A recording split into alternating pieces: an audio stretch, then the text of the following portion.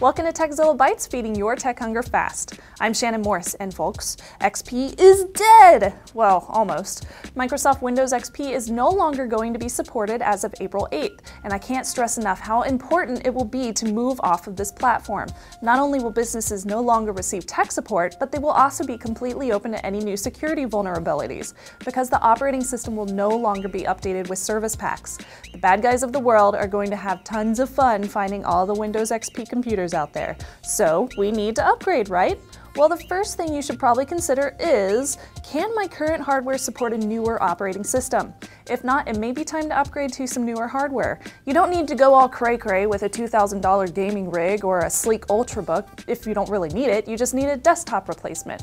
A couple hundred dollars will not only buy you new hardware, but they're also pre-installed with newer operating systems. Now, Windows 8 or Windows 7.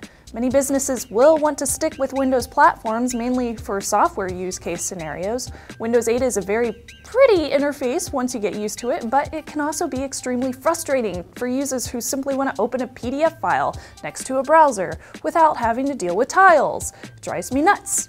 Windows 7 is still supported, and it will be for a long time, so we're good there. It's similar in the look and feel as XP, but it is much safer and it is serviceable. Now perhaps you want to move to Mac OS. Macs can be tricky to get used to if moving from a Microsoft environment, but they are good options if you have the cash to pony up. Apple as a company has really great support and service and is a good choice for home users just looking for simplicity. Well, maybe it's time to move to Linux. Linux operating systems are inexpensive, and by inexpensive I mean free. Using Linux is easy, it's not as cumbersome as Windows 8, and much of the operating system is similar to XP, such as browsing, start menus, file explorers, and such.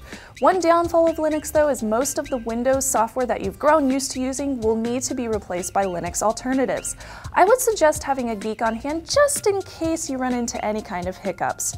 Once set up though, Linux distros are a breeze. Some of my favorites include Linux Mint, Puppy Linux, Ubuntu, if you don't mind their odd business decisions sometimes, and Lubuntu.